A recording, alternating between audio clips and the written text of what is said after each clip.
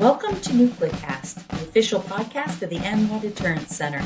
Each week, we bring you leading experts for a lively discussion on topics related to strategic nuclear deterrence. Our host is Dr. Adam Lowther, Director of Strategic Programs at the National Strategic Research Institute. The views of the hosts and the guests are their own.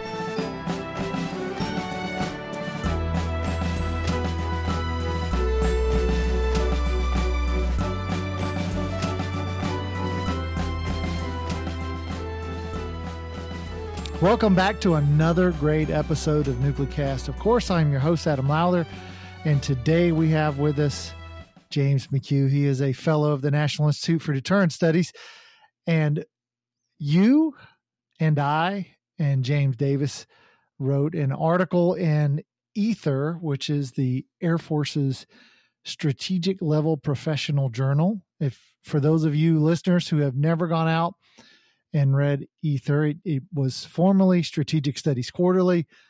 It's been rebranded to Æther, and it's a great journal and that really talks a lot about sort of the Air Force at the high operational and strategic level and some of the big picture issues about nuclear, China, some of these major sort of strategic issues affecting the service. And you and I did this article. So, welcome to the show, by the way. Thanks for being Thank here. Thanks for having us. Yeah. So we thought we would talk about the article we, we did recently because we we touched on a subject that is one that has not gotten all that much play. I mean, you wrote another article for SSQ a few years ago that was on conventional nuclear integration. And so this one deals with you and I try to sort of figure out what is this balance and this role of sort of the the U.S. precision guided munitions, our advanced cap- conventional capabilities versus what we might call, you know, non-strategic tactical nuclear weapons. And you know, what is that balance and what's the give and take? And that was sort of the focus of our argument. So could you lay out for the listeners kind of the the main argument and the main points that were in that article? Sure, great. Thanks for the opportunity. So uh, really, this has been a, a, couple of years in the making, and, and, like you mentioned, I had an earlier uh, paper that was, I would say, more theoretical um, and framework oriented, uh, and just continuing down the the conversation, uh, if you will, uh, to help it be more reachable and, and more practical. Because uh, Jamie and I, uh, for a couple of years, I've been working with war games in, in various roles, and we were finding a consistent challenge uh, from, you can say, both tribes. A conventional tribe having a hard time understanding, uh, especially at the low end, what can and what cannot be done in the nuclear world, and then then vice versa. And that makes it really challenging to deal with um, to me the, the aftermath right? There is a lot of talk about will they or won't they right now with with russia and other entities. Um, but there's not a lot of comfort in talking about that next step. Uh, you know the, the, thinking about the unthinkable aspect but but the unthinkable now is, is is it's not the high end. In fact i find many people are comfortable at the the, the full exchange scale. But it's this uncertainty of, of what is limited uh, and a lot of times people have very different views of that. Um, so I would say that the, the, core thing that we're trying to do with that paper is is enable folks uh, to have that conversation, uh, regardless of their their uh, expertise background, uh, so that they can have um, you know truly a, all the way through to creating that defect, effective deterrence posture. Yeah, and and in doing this, one of the things that we did was we, we you know we sort of opened up with a comparison of what we would call you know tactical nuclear weapons by definition tend to be short range weapons. They're not necessarily defined by their yield but because they're short range they do tend to be much lower yield. So where a strategic nuclear weapon might range from let's say 150 kilotons to 400 kilotons in modern weapons tactical nuclear weapons could be sub kiloton to you know say five or maybe up to 10 kilotons. And and we said you know hey look you know a modern gbu 43 which is the largest, you know, fielded weapon, and it has to be it's palletized and has to be delivered by cargo aircraft. That's an 11 ton weapon, 11 tons. Whereas we're talking a kiloton, which is a thousand tons, and that that's a low yield weapon at a thousand tons, so a hundred times bigger than the largest conventional munition. And so we're trying to sort of think through what would be the instances that you could that you would need something like that. And then where have conventional pgms precision guided munitions where have they come? And where what are those instances in which you can use that pgm so for example you know part of what what you contributed in this article was this analysis of a nuclear strike on an airfield versus a conventional strike on an airfield. So can you sort of describe the the you know the the trade-offs for conventional and nuclear strikes on an airfield?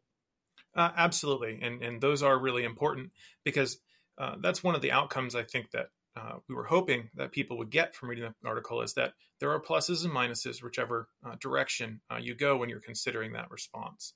Um, but real quick, before I answer that, I do want to, to kind of just sneak in there when we're talking low yield. Uh, it's difficult um, because of classification issues. But one of the things that I lean on is uh, I think it was 1995, maybe 96. There was a, an amendment to the NDAA. You can Google it, Spratt-Furse. Um, and those uh, they, they, had inserted uh, an, a caveat where they was uh, denying the ability to design weapons, and they're through that process and public statements, Congress has essentially said that five kilotons and less is that that scale. And we chose five in our paper because that's the high end. Because the logic thought is, um, if anything at all, um, if you go to the high end, then anything less would be more limited. Um, so it, it, should be uh, falling within folks' uh, perception of, of, acceptable. And uh, like you said, you could go sub kiloton. Uh, and then you would just take those circles on our, our diagram and, and, decrease them. But from the, the military effect, direct, immediate military effect, and assumption, fallout free, uh, because that is in line with the concept of being limited. Uh, then what you can so could you describe describe for listeners who may not know what fallout free because when we say you know fallout free um, nuclear detonations people are like what so yeah. explain for folks what what is that exactly? It is a very key um, detail uh, that I see mistaken in many conversations. Um, some might say intentionally conflated in different conversations.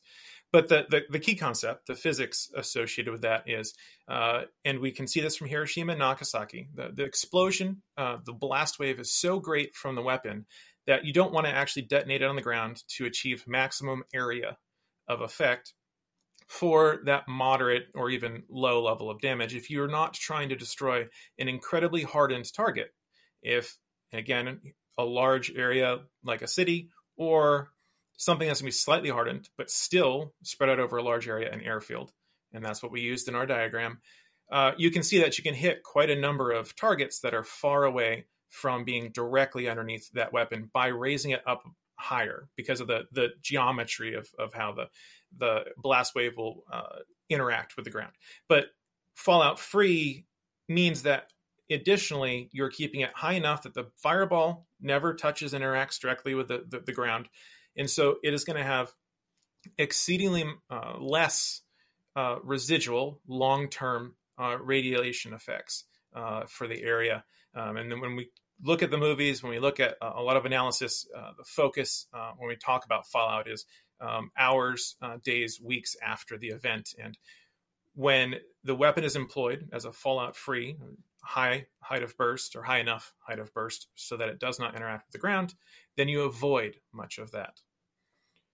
Yeah. So the main thing would be that it's it detonates. You get this big circle, and you get a lot of blast and thermal but that I, but all of the radiological material almost all of it is consumed in the fireball and because it doesn't suck up debris from the ground which then gets irradiated and then deposited or put into the atmosphere you essentially don't have any fallout. And so, therefore, many of the horror stories, you know, of, of irradiated wastelands, you know, that doesn't happen. And I, you know, it's one of the things you mentioned that I think is important for people to understand is you, you actually, by not putting a weapon on the ground, can do a lot more destruction by having a height of burst that propagates that blast wave you know further out and so that's how you collapse buildings things of that nature. And so you maximize blast. And so that's one of the things that you know we we think would probably happen. And if you think about destruction on an airfield you know you could probably destroy more airplanes more shelters more buildings by detonating above it as opposed to laying a weapon on the ground then detonating it.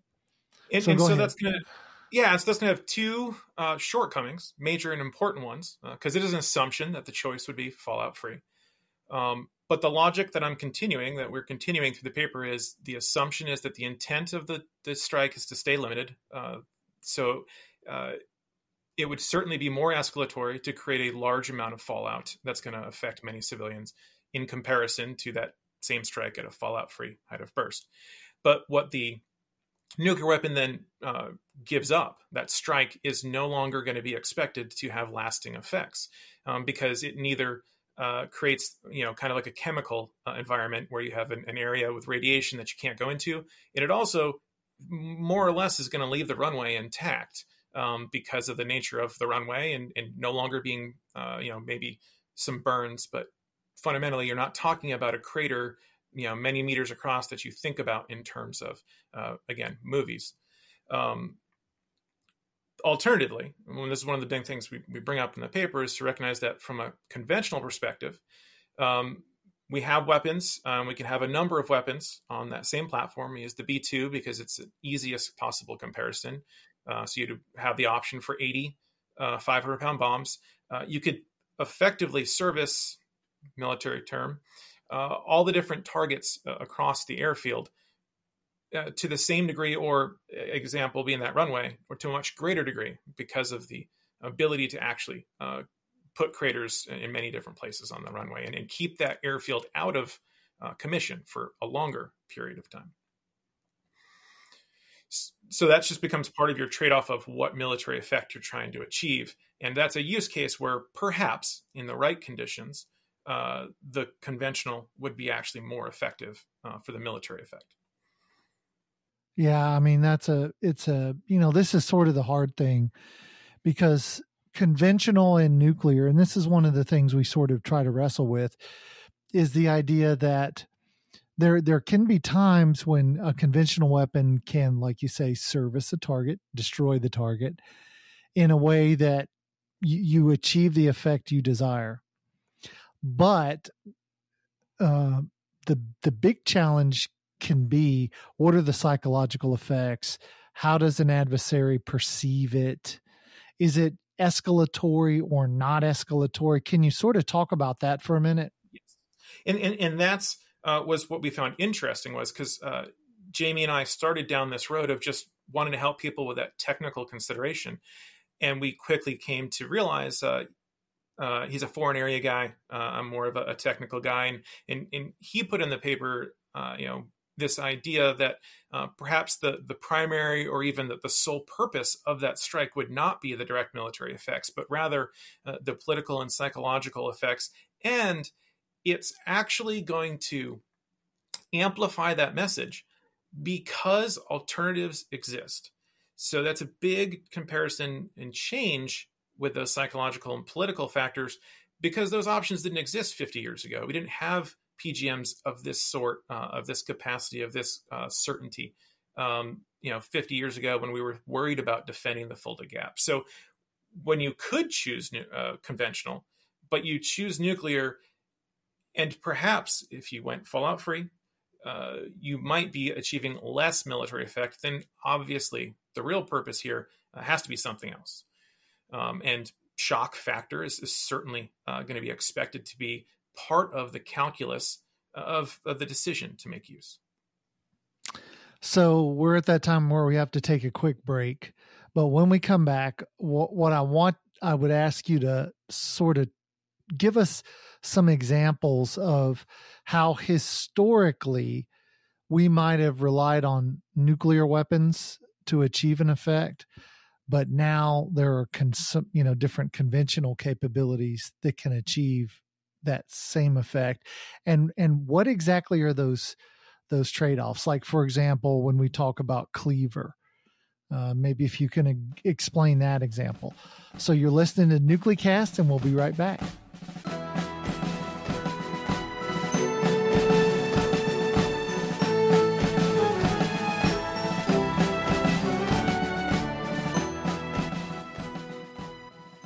episode of Nuclecast is brought to you by the ANWA Deterrence Center, whose mission is to educate Americans about the nuclear enterprise and strategic deterrence.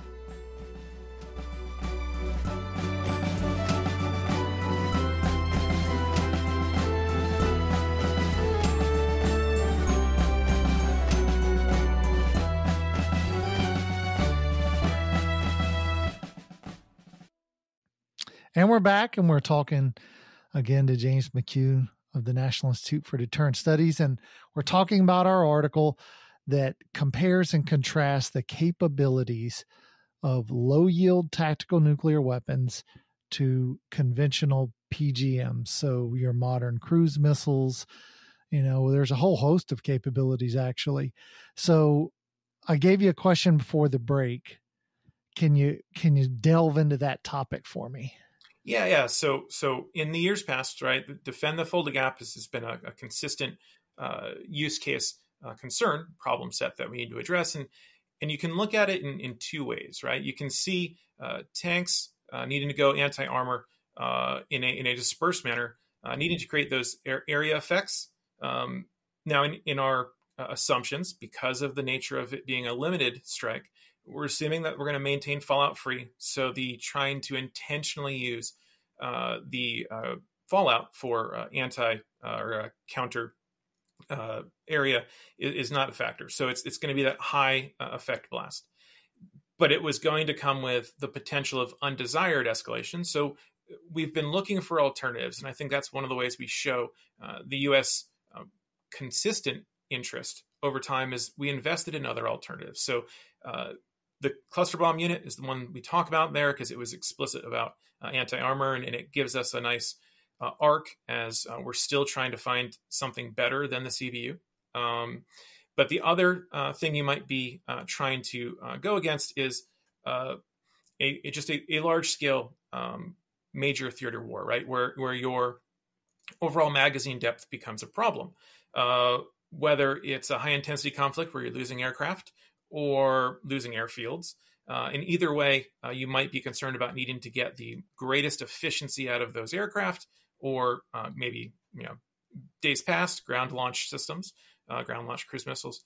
Uh, the concern is to be able to get the best bang for your buck, and you know that's one of the enduring things about nuclear weapons that physics dictate um, that they will always be providing uh, the greatest amount of, of explosive power per pound um, from uh, you know as compared to anything else. So when you get to that mass attack, one of the interesting things that we have now is, and it's coming out in the news um, pretty regularly. Japan has said, "Hey, we'd like this capability."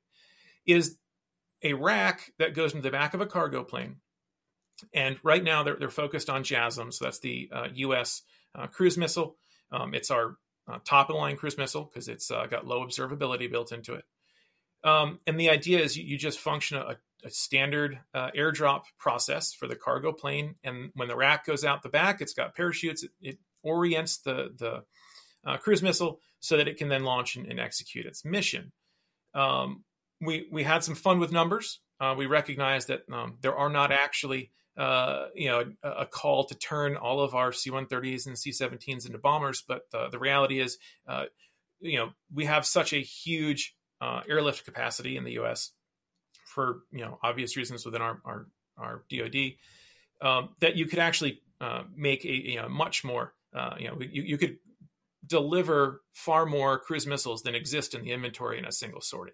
Um, so when we talk about uh, capacity, um, these uh, other options are quite interesting, not just because uh, they're approaching those low yield uh, levels of effects. But it's also interesting because the opportunity to expand that capability, uh, you don't have to have stealth bombers if you have stealth cruise missiles, and you can share that with your friends. Um, means to uh, improve assurance uh, outside of uh, the uh, you know the, the the myopic or the, the the kind of the focus on nuclear weapons because there you know other opportunities. We talk about missile defense sometimes for the intent of assuring our allies. So uh, it gets at the tactical problem for mass attack while also uh, providing uh, new opportunities uh, for assurance and deterrence. Yeah, and, and this is sort of one of those trade offs that we talk about in the article that I would encourage. And I don't think I gave uh, the actual name of the article. So if you'll go to the summer edition of Æther, I said it was in Æther and the the name of it is a tactical nuclear mindset. It's the lead article in the in the issue. So a tactical nuclear mindset, and uh, the big challenge or a big challenge that we talk about is this idea that you can achieve some similar effects with all of these advanced conventional capabilities that we have, which are actually quite amazing. The U.S. has, has done amazing things here. But one of the biggest problems is magazine depth.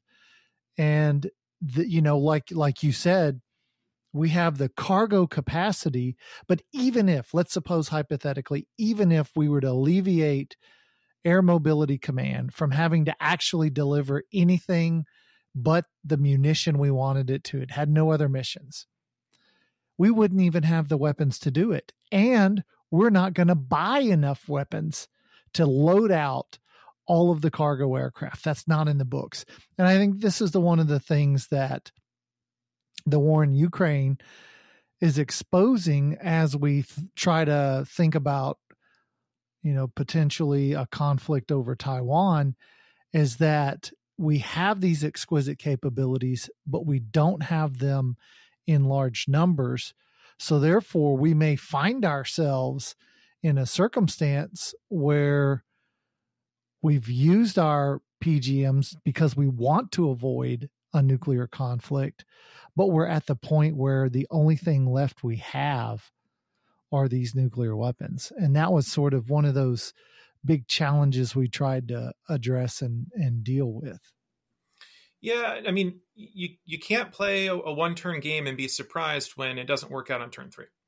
Um, you, have got to show credibility, uh, capability uh, to to endure throughout uh, what is the you know expected uh, duration uh, and capacity for the fight. And so, if you're going to commit to staying entirely conventional, uh, you've got to make sure you can prove it. And alternatively, um, you know, if, if you're going to come in nuclear, uh, you still have to think through it because we don't have an endless supply there either.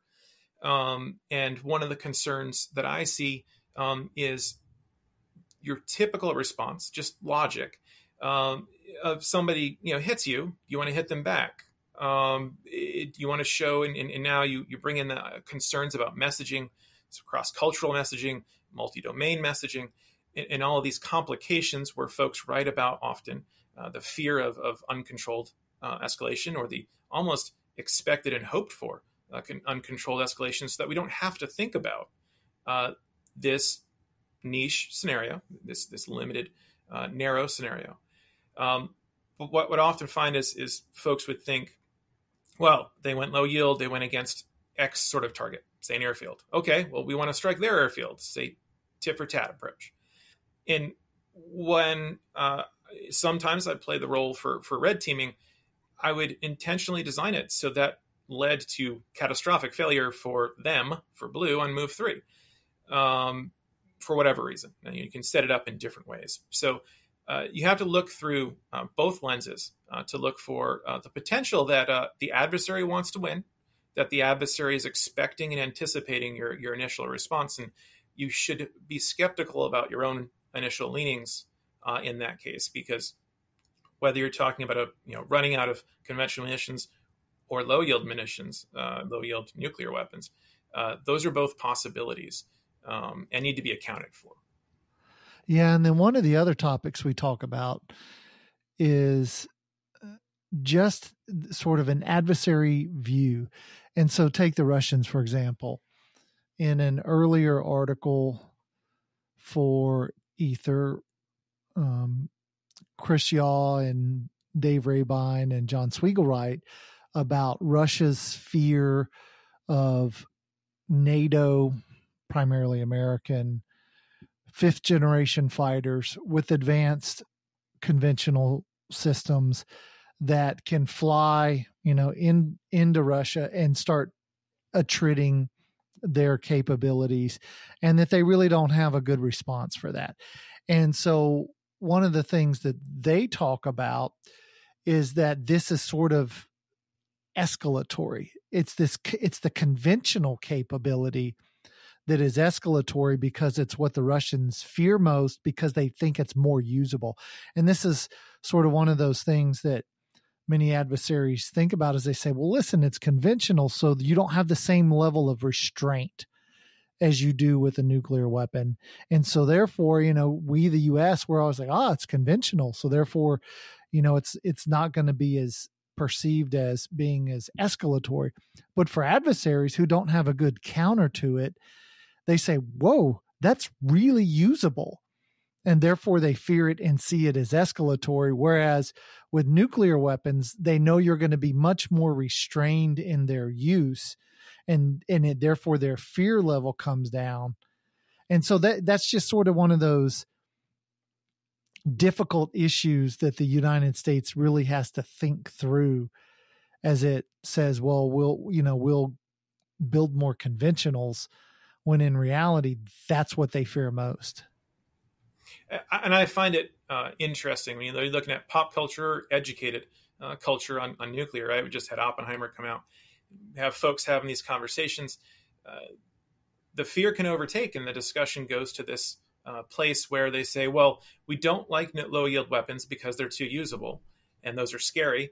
Um, but then they don't continue that conversation uh, into what you're talking about into this idea that um, the the unrespondable or the, the, the threat which the adversary doesn't have any response to can be quite concerning, and you know may may bring them down the, the road uh, to considering that their only option uh, for response. Dominance uh, comes up in our literature a lot, and I mean I'm an aviator, so I, I much appreciate air dominance over anything else uh, if I have to operate.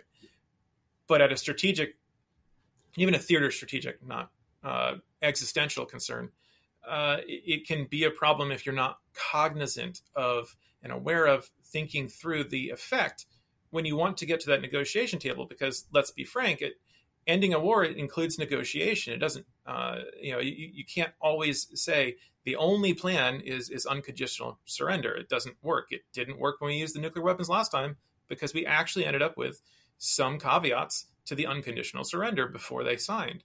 Um, and so I think we, we have folks that either you know dissociate in their mind uh, this idea that well we don't want low yield weapons to be usable but these other things are which are quite usable and can achieve nearly the same effect not recognizing uh, the influence and impact that's going to have. So we're at that time in the show where i start to bring out my genie bob and i'm going to rub my magic lamp and i'm going to let you make three wishes in regard to the, this this dynamic issue we're talking about. What okay. would wish number one be? Well, uh, you know, I'm gonna. You, you, gave me some softball and gave me a couple, so I'm gonna, I'm gonna go ahead and use up my first one to make sure that uh, we get that message out to everyone, no matter what anyone's impression uh, might be, uh, having heard or read different things. Uh, I hope that we never see nuclear weapons used again, uh, employed again. Use is good, employment is bad. Um, go with two. However, should that fail and they become a, a problem for us uh, used in anger, I hope that whatever that uh, country uh, or other actor uh, sought to achieve is unambiguously a failure and the whole world takes notice. Um, and, and three, um, I, I, hope uh, that the U.S. has all the things we need, uh, physical and policy wise, uh, to achieve it. yeah, It's like I forget who who it was that says that you know they support denuclearization except for us. You know, which uh, you know you can't help but but agree with that one. Now, as as we sort of end the show, we've we've had this conversation about these comparing and contrasting low yields and conventionals. And you know the listeners out there will will have been sort of trying to think through in their minds and and picture the discussion that we're having and particularly for those that don't think about this topic. Like you know we may have folks that have different backgrounds. They may be DOE lab scientists or they may be contractors but they they might not think about this topic so if you want to leave them sort of a clear message to walk away with from our conversation that is sort of the you know the bottom line up front but at the end what would that message be? On the bottom line on the bottom. Uh, i would say that uh, there is no silver bullet. And and what i mean by that is they have to be careful to think through the first second third order effects of, of whatever thing they think is going to solve their problems often we look at that grass is greener from the other side perspective. Um, nuclear, uh, it's not going to be a problem. The conventional side will just dominate and will win, and vice versa, um, which we know from public writings is is you know quite been a problem for us in the recent years. Uh, the conventional side, nuclear happens, and it's Stratcom's problem, not us. Um, no, it's both of these camps. It's both of our problem, um, and more clear thinking is needed. And I would extend that to the camp that doesn't want any nuclear weapons either. We need to have some discussions. We need to think through this um, and, and, put things on the table so we can get to the complete logical flow, start to finish. Um, how we can imagine folks would not succeed in those objectives and then work backwards to creating the posture that discourages them from ever trying. Okay. James McCue, thanks for joining us on NucleCast. Thanks for having me. And thanks to you, the listeners, and we'll see you on the next episode.